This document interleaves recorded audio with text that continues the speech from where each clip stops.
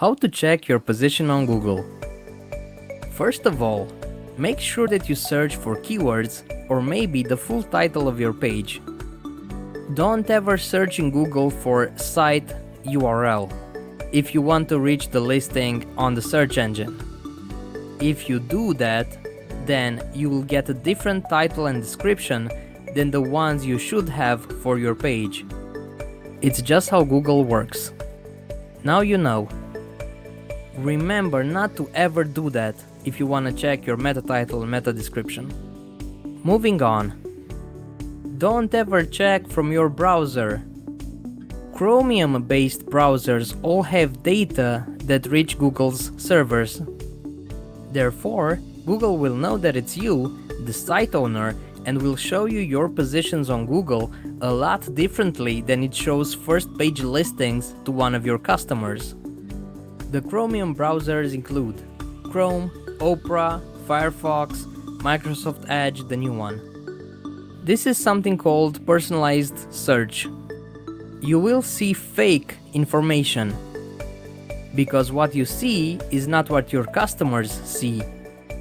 You won't actually know how well you rank on Google if you do this.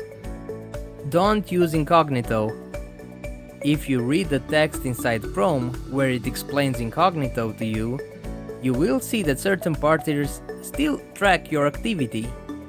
Therefore, search will still be personalized, you will still see fake info. How do you escape this? How can you find your real positions on Google? 1.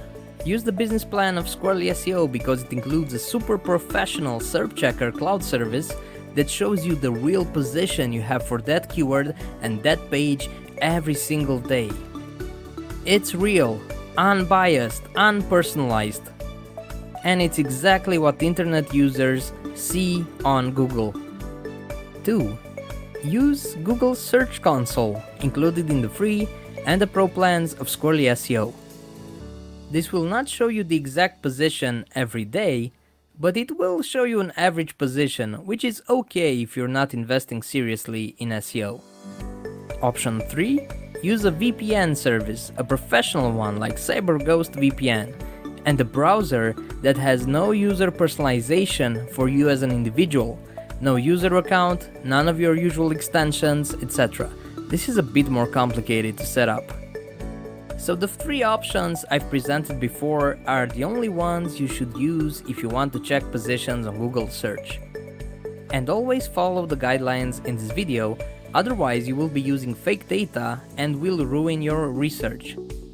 Keep ranking with Squirrly.